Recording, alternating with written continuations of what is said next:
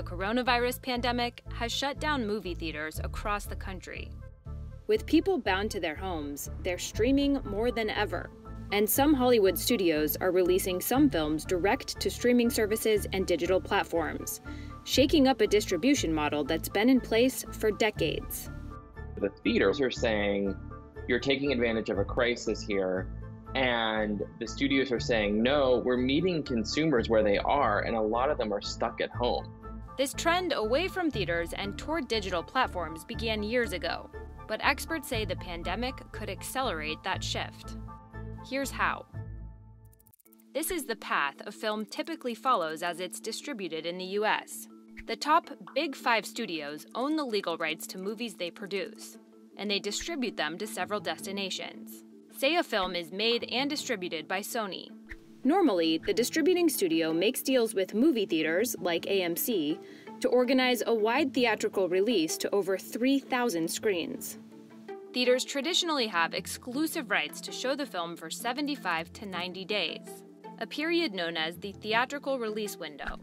After that window ends, the film usually goes to digital platforms like Apple or Amazon, where it might be available for digital rental or purchase. Later, the film is distributed again at a lower price and may become available on DVD or Blu ray. Finally, the studio can sign a deal with Netflix or another third party streaming service or head to cable channels like HBO. But the coronavirus crisis is shaking up that model. Take Trolls World Tour. yeah, yes, Papa Fur?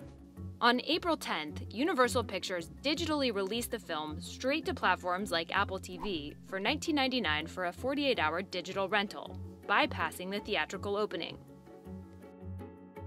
So, theaters have view this as a philosophical and an existential threat for many years. They want to safeguard that exclusivity window because they know that it is still one of the main reasons people go to the theater, right? Is because they're showing movies you cannot see anywhere else. And the experimentation over the last several weeks with the theaters closed has really been a source of friction between studios and exhibitors. The move was a gamble, but it paid off. In just three weeks, Trolls World Tour made nearly $100 million in rentals, the biggest opening day and weekend for a digital title ever. NBC Universal CEO Jeff Shell told the Wall Street Journal that the results for Trolls World Tour have exceeded our expectations and demonstrated the viability of PVOD, or Premium Video on Demand theaters were less enthusiastic. Whenever Universal announced that they were going to do it with other movies and planning then, this is key, planning to release movies with some more fluidity between theaters and digital platforms, even after theaters reopened, it really became open warfare.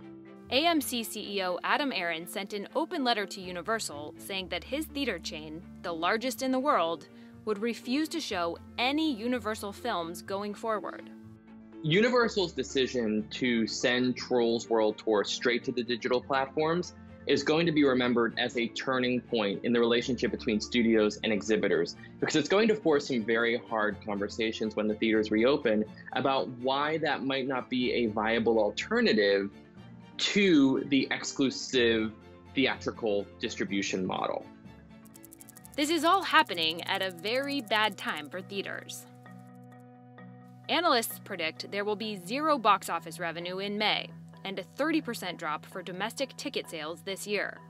Some are predicting that domestic box office earnings will be around 6.7 billion for the year, down from more than 11 billion for each of the past 5 years, putting 2020 on track to become the worst year for the film industry since 1997 a lot of analysts expect a lot of smaller independent theaters to really struggle through this and potentially have to close. It remains to be seen, though, once theaters reopen, how many screens come back online. At the same time, streaming services are seeing a rise in viewership. In April, Netflix reported 15.8 million new subscribers for the first quarter of the year, more than double their forecast from the year before. Now, the big question is what is temporary and what is permanent?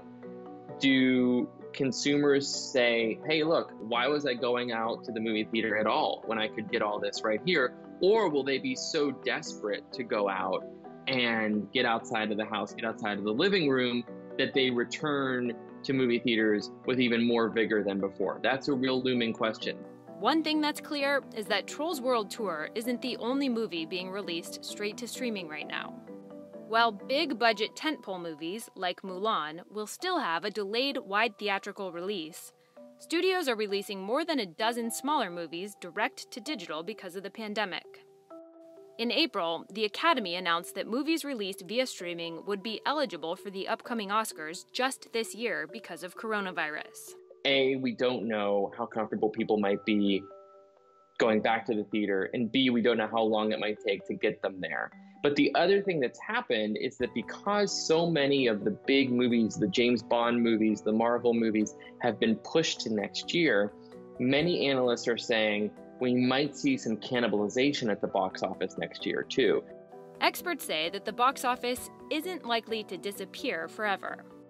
One lesson from the pandemic will be that studios have been emboldened to experiment with these distribution strategies more than they ever were.